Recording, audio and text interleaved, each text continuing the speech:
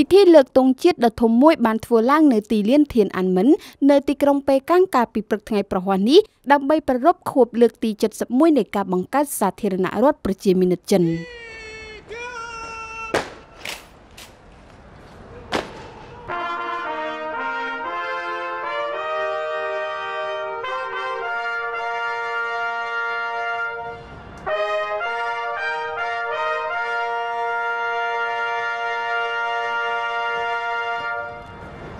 បន្ទាប់ពីទាហានត្រែ8នាក់បានបន្លឺសម្លេងរបស់ពួកគេ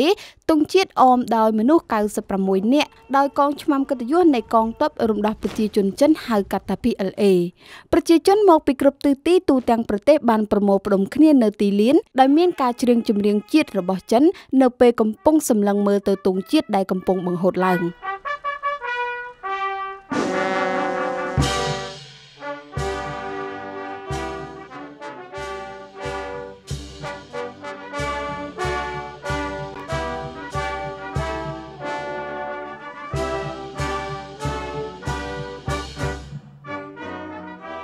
មនុស្សជាច្រើនបានកាន់ទង់ជាតិនៅក្នុងដៃរបស់ពួកគេហើយមនុស្សមួយចំនួនទៀតបានបិទទង់ជាតិនៅលើមុខរបស់ពួកគេ ពិធីលើកទង់ជាតិនៅទីលានធានអានមិននៅថ្ងៃទី1ខែតុលាគឺជាពិធីនៃការអបអរសាទរទិវាជាតិសម្រាប់ប្រជាជនចិនជាច្រើន ដែលបានចូលរួមក្នុងការជួបជុំគ្នាដើម្បីទស្សនានិងបង្ហាញពីអារម្មណ៍ស្នេហាជាតិពិធីលើកទង់ជាតិទិវាជាតិចិនឆ្នាំនេះមានសារៈសំខាន់ជាពិសេសដែលប្រជាជនចិនប្រឆាំងនឹងការរីករាលដាលនៃ COVID-19 ទឹកជំនន់ក៏ដូចជាភារកិច្ចនៃការធានាជ័យជំនះដាច់ខាតក្នុងការកសាងសង្គមរុងរឿងគ្រប់មជ្ឈដ្ឋាន។